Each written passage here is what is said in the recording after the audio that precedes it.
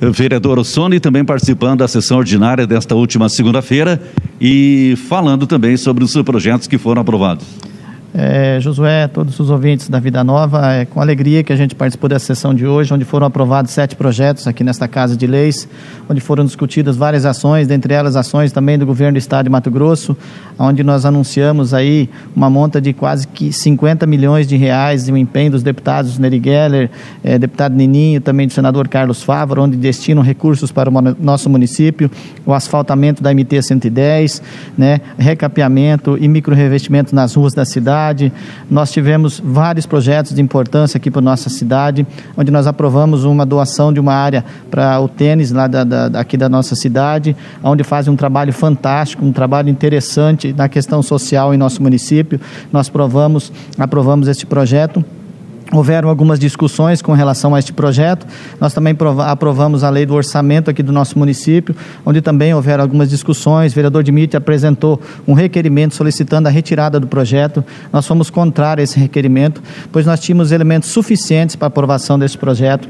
Ele se pautava é, na falta de alguns anexos que foram entregues no dia de hoje. Esses anexos, é, o secretário Hudson esteve aqui, é, explanou sobre todas essas diferenças, todas essas dúvidas que ele ele tinha. Para nós, vereadores, ficou muito claro que não havia nada de errado, nada de legal nesse projeto e por isso nós aprovamos este projeto contra a vontade de alguns, mas com certeza pensando no bem da população. Nós não podemos, como Câmara de Vereadores, dificultar e travar por bel prazer. Nós temos algumas justificativas que foram nos dadas, nos apresentadas e para isso eh, já nos serviu, foi suficiente. Eh, a gente sabe que alguns vereadores não concordaram com isso, é de direito né, de todos os vereadores, mas nós aqui que trabalhamos em prol do município foi o suficiente. O projeto estava na Casa de Leis desde o mês de abril para discussão, para estudo. As comissões foram favoráveis e nesta noite, então, foi apresentado um requerimento para que fosse retirado para mais tempo. Quem quis estudar o projeto conseguiu estudar. Quem quis informações com relação ao projeto foi atrás. Nós estávamos cientes, estamos cientes do que nós aprovamos e com certeza quem ganha com isso é o município de Canarana, toda a nossa população.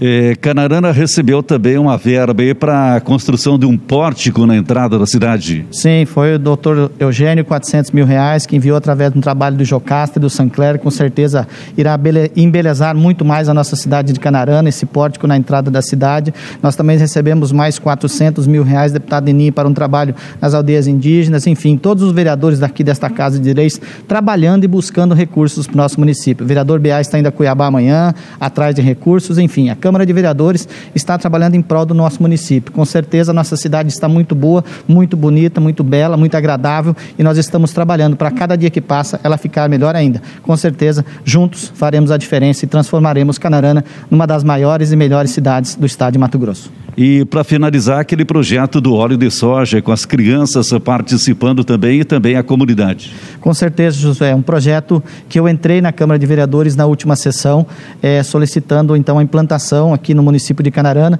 É, o parecer jurídico do, da, da, nossa Câmara de Vereadores foi contrário à aprovação desse projeto. Eu retirei o projeto, mas tive a oportunidade de conversar com o secretário Eduardo de Educação, que irá implantar este projeto, porque aí sim é permitido, vindo da Prefeitura, pode ser feito é um projeto fantástico, eu tenho certeza que vai ser referência a nível nacional, onde as crianças das escolas do nosso município irão coletar o óleo de cozinha usado na sua casa, na casa do seu parente, na casa do seu primo, da sua avó, do seu vizinho, na sua rua, no seu bairro, irão coletar esse óleo de cozinha e vão levar para a escola.